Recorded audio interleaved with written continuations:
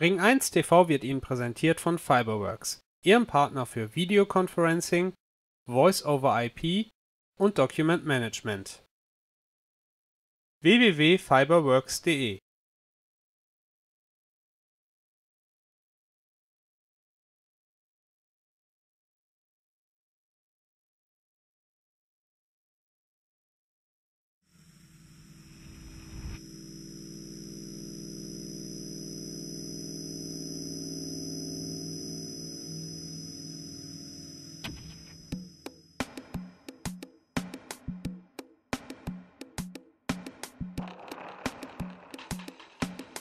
不行了不行了。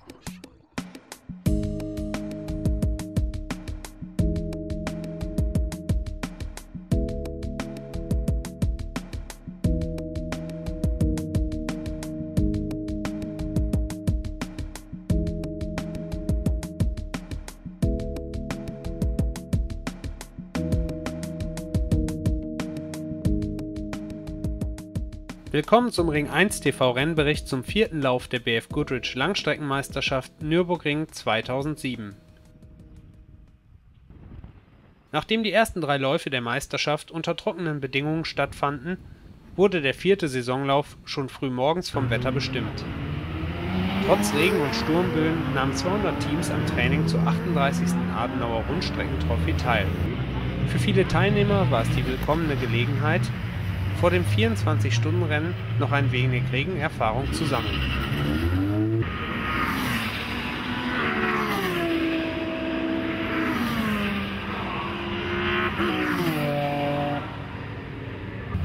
Neben den altbekannten Wiederholungstätern bot ein Gang durch die bis zum letzten Platz gefüllte Boxengasse auch einen Blick auf viele interessante Fahrzeuge, die in dieser Saison ihren Einstand feiern die Langstreckenmeisterschaft wächst weiter und mit ihr die Vielfalt des Starterfeldes.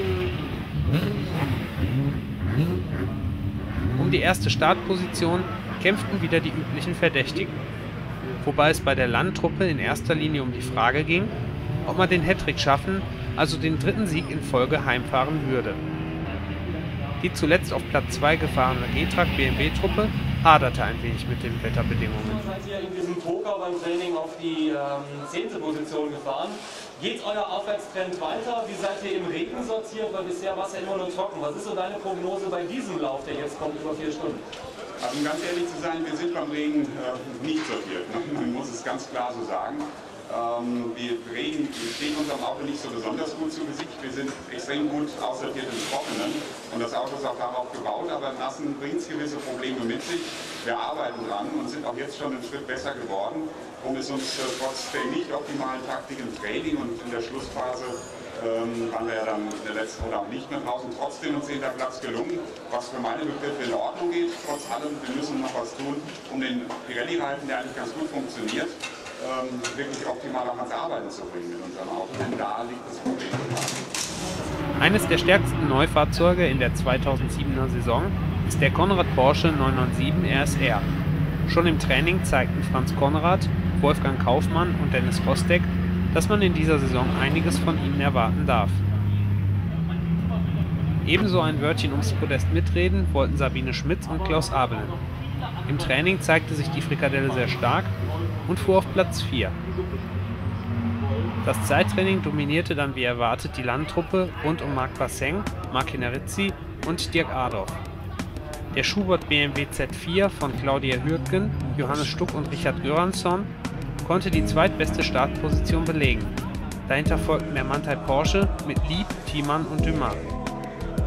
Zu einem regelrechten Reifenpoker sollte der als Regenrennen deklarierte Lauf für die zahlreichen Teams schon vor dem Start werden. Unsere Spione um die Strecke herum, die haben uns informiert und dann das Team Fahrer zusammen und wir starten mit Slicks. Wir gehen das Wagnis ein. Wer wird sich ablösen als Zweiter im Cockpit für die Fans? Ich denke, der Marc Rizzi wird den zweiten Turn fahren. Alles klar, toi toi toi für die Landmannschaft. Für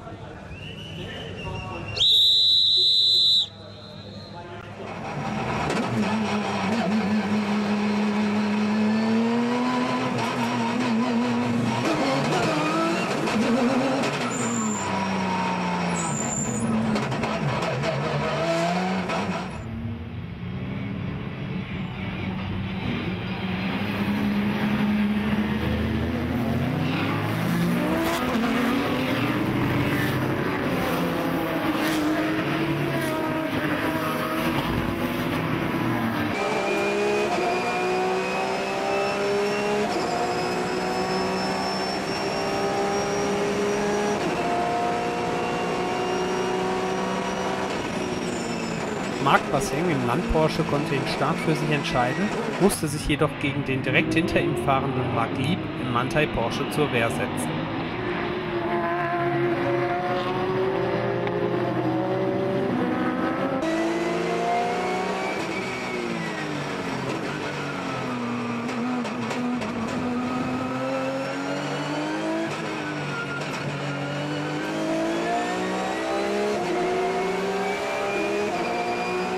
Die erste Rennrunde beendete Marc Basseng als Führender, dicht gefolgt von Marc Lieb.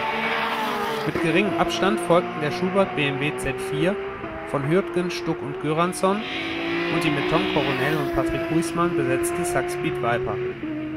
Dahinter hatte sich Lust auf Glück gebildet, das enge Platzierungskämpfe austrugen.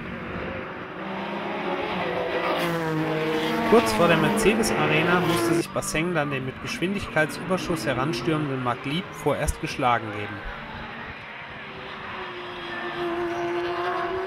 Mit hohem Renntempo kämpfte sich Lieb dicht gefolgt von Basseng durch die Schar der zu überrundenen Fahrzeuge. Schon zu diesem Zeitpunkt spürte Lieb starke Vibrationen an der Hinterachse, die den Ludwigsburger kurze Zeit später zur Aufgabe zwangen. Der Kampf an der Spitze war somit um einen Protagonisten ärmer.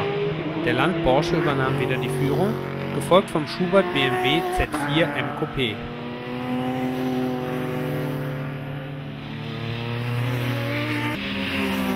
Als Hauptdarsteller betrat von nun an das Wetter die Eifelbühne.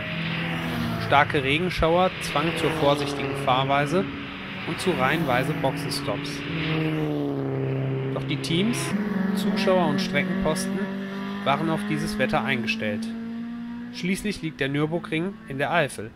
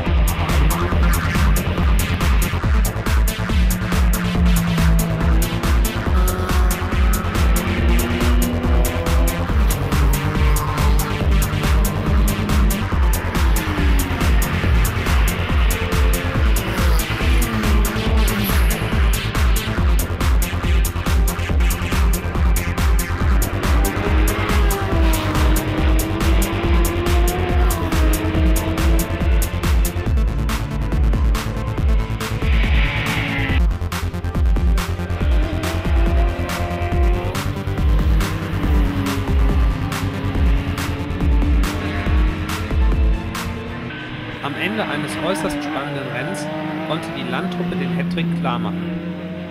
Der Porsche erreichte die Zielflagge vor der Saxpeed Viper und dem Schubert BMW Z4 M Coupé. Die Freude über den dritten Sieg im vierten Rennen war überschwänglich groß. Marc Nerizzi, Dirk Adorf und Marc Basseng ließen sich feiern.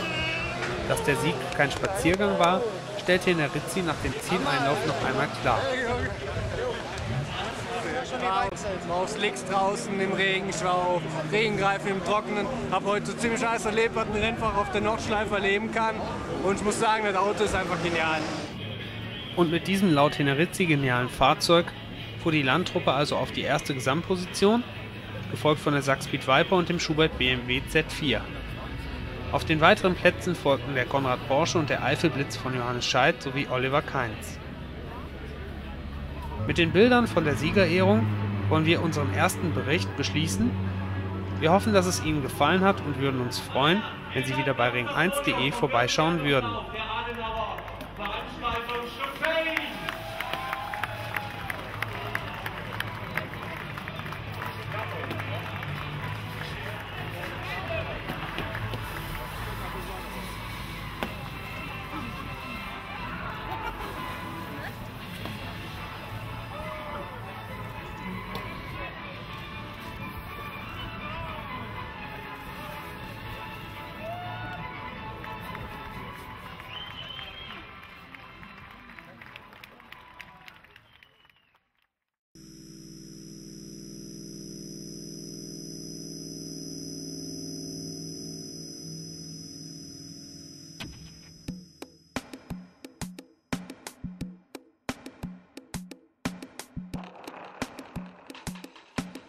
Uberschau.